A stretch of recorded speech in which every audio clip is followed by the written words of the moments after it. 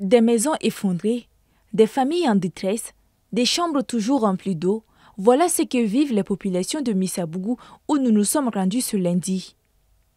Des dégâts causés par les inondations du week-end. Chaque année, nous subissons la même chose sans amélioration.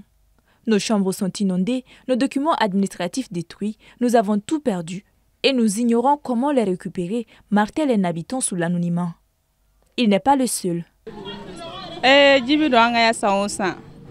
a b'an ka minɛnw bɛɛ tiɲɛ ɲɛgɛnw min fa kogow bi be hali jumadon yɛrɛ ta na an ka kogow bɛɛ benna yan ma yan nɔ dɛ an bɛ ji labɔ an ka sɔkɔnɔ bɔ an dɔ se an ka kogow kɔfɛla la yen nɔ an bɛ ji bɔ yen nɔ ni zen ta yɛrɛ la an taara si ekɔliso sanfɛle la pirive dɔ filɛ gitɔrɔnda la nɔ an taara si yen nɔ de a soden wolonfila de yan ani gabugu bɔn ji a depasera anw fan fɛ kojugu kɛrɛnkɛrɛnnenya la an kɔdalamɔgɔw o du tɛ ka ta kɔgɔ da yɛrɛ ma ka se yan.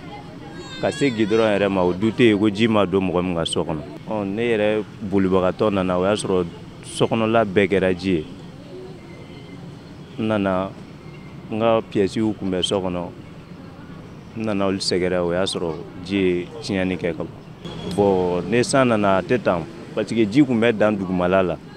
An si kun hakili t'a ma k'a bɛ kɛ tan ze Cette femme, par exemple, était assise dans sa maison lorsqu'elle a été surprise par le bruit de l'effondrement de son mur avec la vague d'eau qui s'est emparée de sa concession avec force.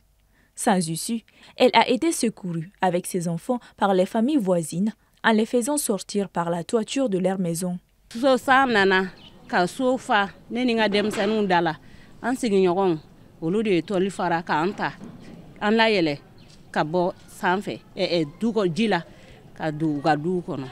An kɔni tiɲɛ yɛrɛ la kogo binna degun b'an kan. Degun b'an kan yan bi dɛ san mana na cogo o cogo an tan kɛ ji ma jɔ an tɛ se ka da.